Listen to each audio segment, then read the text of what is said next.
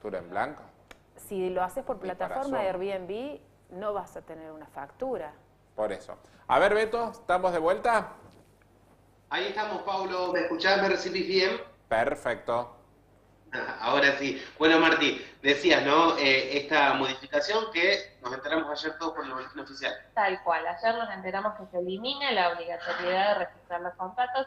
La verdad es que no todos los contratos estaban registrados, bien fue una de hace unos años atrás, eh, era una cosa que en la práctica no se utilizaba mucho. Bueno, a- hoy al no ser obligatorio, eh, eso podría flexibilizar el- la oferta de alquiler anual, ¿no? ¿Y eso por qué? ¿A qué se debe? Digo, ¿qué vendría a cambiar?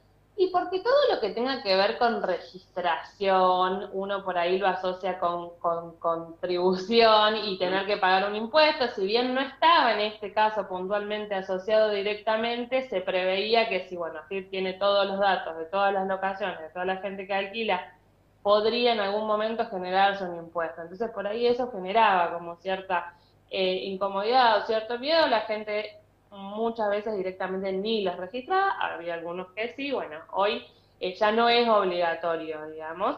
Tampoco era una obligación que preveía algún tipo de sanción, entonces, bueno, eso por ahí hacía que la gente tome, o que, que ciertos locadores tomen esa libertad de no registrarlo. Bien. Martina, algunos eh, señalan, ¿no? A partir de que se conoció esto, es que de alguna manera aquellos que lo puedan seguir haciendo es más que nada para tener algunos tipos de beneficios fiscales o demás. Digo, si vos me decís que la, la mayoría de la gente no lo hacía para evitar las Sí. contribuciones, digo, ¿qué tipo de beneficios están hablando? Todavía no se sabe bien, hay que ver cómo se reglamenta y bueno, eh, en los próximos días calculo que tendremos eh, esa información más precisa y, y, bueno, obviamente nos va a servir para asesorar mejor. Otra cosa que quería remarcar en relación a algo que decía Pablo recién cuando estábamos fuera del aire es el tema del timbrado. Bueno, el timbrado hoy para lo que es vivienda familiar ya no tiene costo, es una declaración jurada que se hace en Bien. rentas, es obligatoria de todas formas, pero no tiene un costo. Sí para los contratos comerciales que superen eh, una, una determinada cantidad eh, o, o un monto, ahí sí tiene un costo, eh, pero para los familiares ya se había eliminado. Esto eh, hace bajar mucho el costo eh, cuando una persona va a alquilar. No, la realidad es que no. El timbrado era, yo creo que un 1% del monto, to- o un 1,5, no recuerdo bien, pero del monto total del contrato. Eh, y si bien sí, bueno, era un monto considerable, no era algo que todo suma, ¿no? Y todo, y todo ayuda, pero No generó un eh, impedimento. claro, no generó un, un impedimento, eh, sigue siendo, digamos, un monto grande y que una persona necesita para, para encontrar un nuevo alquiler, un nuevo inmueble.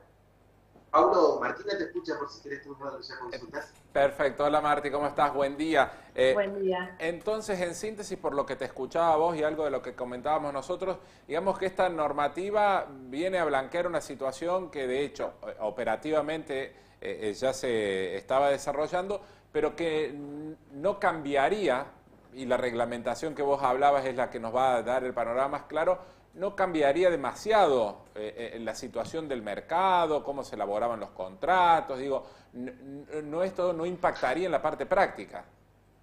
Mira, Pablo, yo creo que, a ver, solamente esta medida eh, no hace demasiado porque sí, ya veíamos que la mayoría de los contratos sinceramente no se registraban.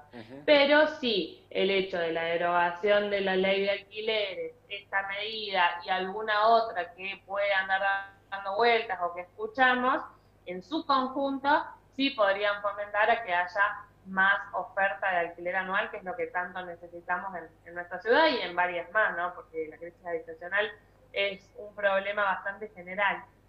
Y a propósito de eso, eh, eh, digo, eh, teniendo en cuenta la derogación de la ley de alquileres, ya lo, algo hablamos contigo en, en otras oportunidades o con Carly Gradito también, eh, y esta situación, ¿ustedes ven que esa oferta va increciendo fundamentalmente de departamentos, de casas que se ofrezcan desde lo anual, ya no teniendo que eh, amoldarse a, a la ley o a esta situación ahora puntualmente Sí. que está planteando? Sí. Vimos que creció bastante la oferta de, de alquiler anual. Antes no había absolutamente nada, en alquiler anual era muy difícil, la, situación de la gente era desesperante. Ahora hay un poco más de, oferta y se hace un poco más, eh, incluso a veces difícil alquilar un departamento, sobre todo cuando está fuera de precio, ¿no? Eh, que antes se alquilaba cualquier cosa en cualquier precio, bueno, hoy ya no. Vimos que al incrementarse por ahí esa oferta, la demanda se reguló un poco mejor. Bien, o sea que el precio se reguló en ese sentido, digamos, vos decís, bueno, este me pide 100, me parece mucho, puede haber algo de 80, por ejemplo. Y al haber más opciones, sí. Eh, eh, ¿Y esto entendés vos que se puede seguir ampliando, Marti, que puede seguir siendo todavía aún mayor la cantidad, o estiman ustedes que hay este, mayor cantidad de departamentos que van a salir al alquiler anual, por ejemplo?